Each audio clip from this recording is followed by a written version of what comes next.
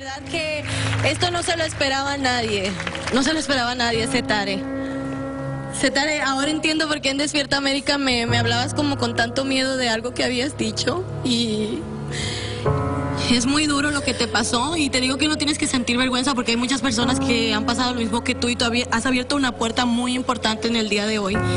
Yo quisiera que le dijeras a toda esa gente que ha vivido lo mismo que tú, cómo has podido tú seguir adelante, Setar. Yo siempre pensaba que si yo verdaderamente quiero ver a que otras mujeres y que la juventud hable y que se defiende, yo lo tengo que hacer primero. Entonces yo digo, rompan ese silencio.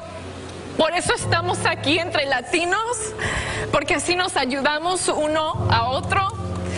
Y nuestra belleza latina, pues de eso se trata, no solamente de belleza ni de talento, sino que belleza con un propósito. Estamos aquí para inspirar a otras personas, por eso lo dije. Y gracias por compartirlo, gracias por compartirlo. Y tú, mi niña, Clary, quitarte la vida.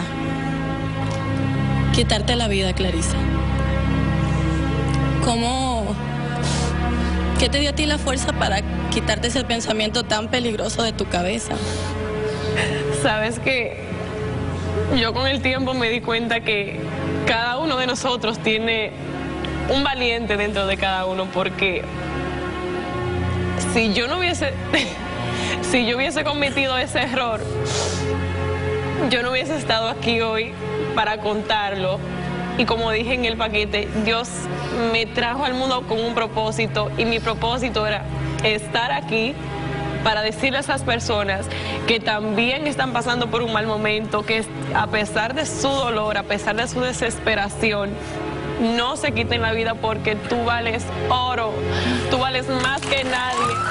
Y esta frase que me ha marcado, te lo juro, o sea, un valiente no significa la ausencia de miedo, sino la, el valor, la valentía de sobrepasarlo todo. Y, para eso, estamos aquí. Y eso representan cada una de ustedes. Como ven, aquí tenemos seis reinas, seis mujeres con corazones increíbles, con historias de valentía que nos pueden inspirar a todos. Y de esto se trata este programa, de encontrar una belleza, pero belleza con propósito.